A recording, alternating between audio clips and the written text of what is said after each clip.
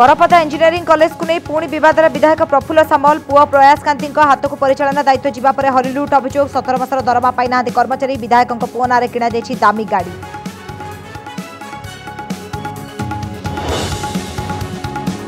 ସାଇବାବାଙ୍କ ବଡ଼ ଭକ୍ତ ଦୁଇ କୋଟି ଟଙ୍କାର ସୁନା ଦାନ କଲେ ହାଇଦ୍ରାବାଦର ସମାଜସେବୀ ପାର୍ଥ ସାର୍ଥ ରେଡ୍ଡି ଶିରିଡ଼ି ସାଇବାବାଙ୍କୁ ଲାଗି ହେଲା ଚାରି କେଜି ଓଜନର ବିଭିନ୍ନ ସୁନା ଗହଣା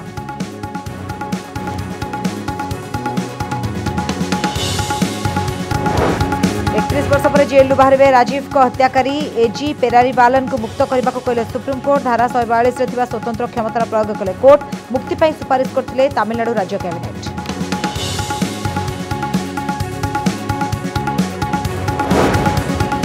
ଗଞ୍ଜାମ ଜିଲ୍ଲାର ଅଧିଷ୍ଠାତ୍ରୀ ଦେବୀ ମା ତାରାତାରିଣୀଙ୍କ ପୀଠକୁ ମିଳିଲା ନୂଆ ରୂପ ସ୍ନାନମଣ୍ଡପ ଦୀପଘର ପ୍ରଶାସନିକ ଭବନର ଉଦ୍ଘାଟନ କଲେ ନବୀନ ପ୍ରତିଷ୍ଠା ଉତ୍ସବରେ ମୁଖ୍ୟ ପୁରୋଧା ସାଜିଲେ ମୁଖ୍ୟମନ୍ତ୍ରୀ ଶହେ ସତର କୋଟିରୁ ଅଧିକ ଟଙ୍କା ବ୍ୟୟରେ ହୋଇଛି ମନ୍ଦିର ରୂପାନ୍ତରଣ